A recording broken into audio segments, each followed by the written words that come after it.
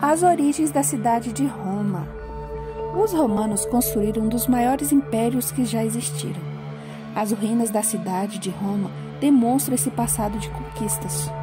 Existem duas versões para o surgimento da cidade de Roma. Uma está baseada na famosa lenda dos irmãos Rômulo e Remo e a outra em pesquisas arqueológicas.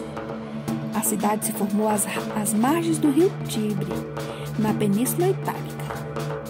Essa região traz sinais de presença humana há mais de 4 mil anos.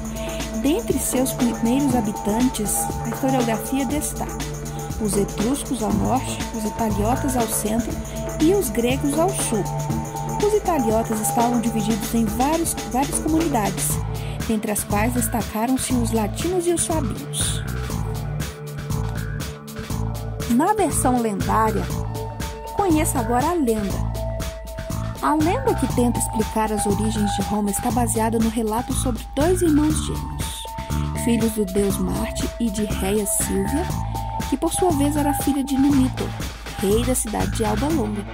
Os meninos, chamados Rômulo e Remo, sofreram uma tentativa de assassinato quando ainda eram muito pequenos.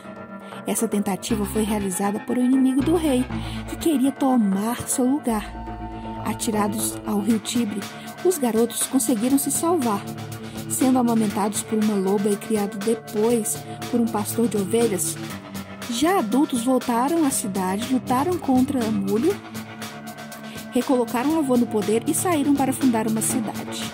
Enquanto Rômulo preparava a vala ou o sulco que de definiria os limites da nova cidade, Remo, enciumado pela preferência que os deuses deram ao seu irmão, saltou por cima das barcas, simbolizando que um dia a cidade seria invadida.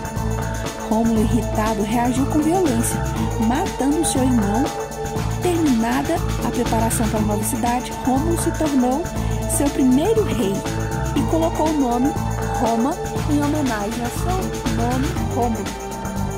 Essa é a origem lendária